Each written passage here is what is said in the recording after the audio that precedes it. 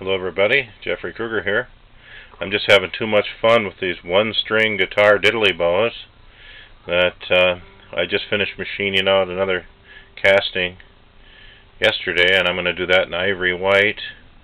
I'm winding the pickup exactly like this one and running an extra tap lead out, putting extra turns on also applying that to a two-way selector switch so I can play with a clean winding like this and uh, select it to a little bit of a hotter winding in the same pickup. So uh, the purpose of this video though is I've taken a guitar tuner and I've just sort of laid these pieces of paper that you see here out where the notes are on the string to show the potential of the great music that you can play with just one string. And it's kind of humorous because it sort of came out like aged, bag, ed, ba. so let me just, um, I'll just sort of um,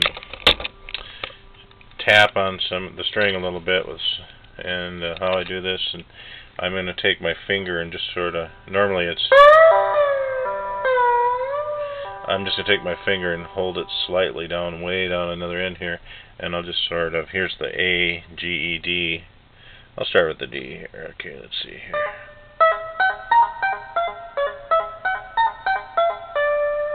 Okay, and then we have the B, A, G. And then we have, we'll go right down this, the line here. These are the notes that I have. Then E, and then BA. So I can uh, show that a little better.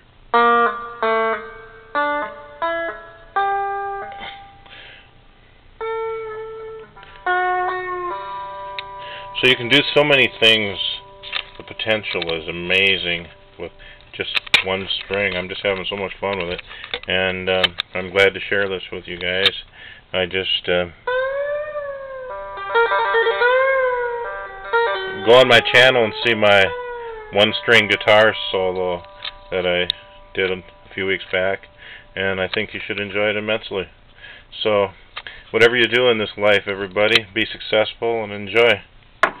So have a great day.